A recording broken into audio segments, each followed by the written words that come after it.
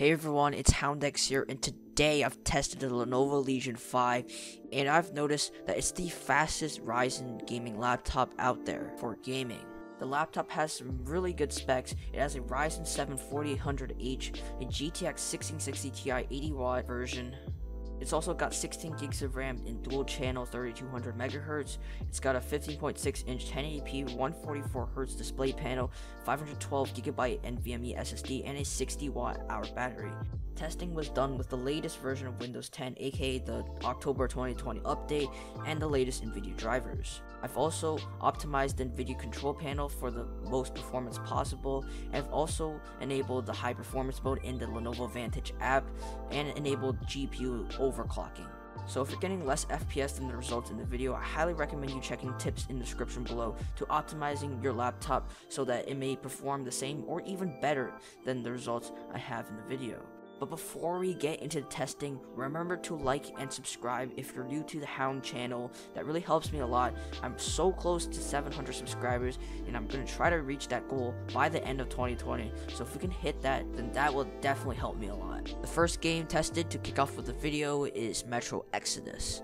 At extreme settings, it was basically unplayable, and it was kind of playable at ultra, but not very enjoyable, and it was near the laptop's refresh rate, only at low settings. Next up, we have Fortnite, and it was tested in Chapter 2, Season 5, and it was DirectX 11. This game is not as demanding as it used to be back in 2017, so you don't have to really worry about um, the FPS can pretty much already average around 144 FPS, which is the laptop's refresh rate at high settings. The next game tested is CSGO, and this game, obviously, to be expected, we get loads of FPS, over 300 pretty much on all benchmarks. So this laptop is pretty much overkill for that game, at least for 1080p. The next game tested is Assassin's Creed Odyssey. Pretty much all settings were never close to the 144 FPS um, for refresh rate that the laptop had. You couldn't really get more than 60 FPS unless if you downgraded the quality to 1080p very high, which was 62 FPS on average. Next up, we have Microsoft Flight Simulator 2020. Similar to Metro Exodus, it was pretty much unplayable at the highest setting preset, you really can only play the game at above 60 FPS when you're at low settings, 1080p. Next up, I tested Krunker with MSI Afterburner. This game is not really demanding at all, but I decided to do it for fun and see how much FPS we got, and without a surprise, it is overkill.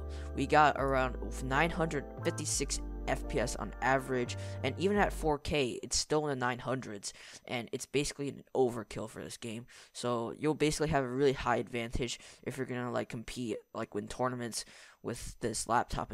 Overwatch was tested in 1080p, and it was already averaging at the laptop's refresh rate and epic settings. So you can definitely take advantage of this laptop's refresh rate in this game. Death Stranding was tested in 1080p, and unfortunately, even at the low preset, you couldn't really average near the laptop's refresh rate, though if you did have a 120Hz screen, that would be fine. However, in this game, out of all the other tested games, we were getting the most stable FPS, aside from Overwatch.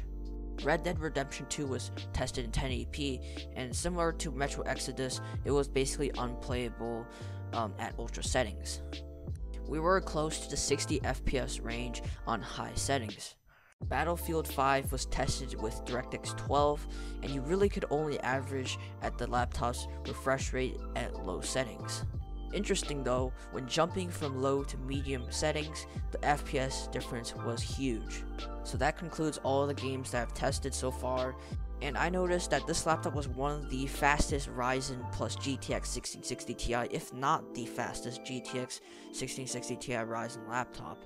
Unfortunately, some Intel 10750H gaming laptops are faster than this laptop, but that is kind of expected because Intel does take an advantage over AMD gaming on laptops.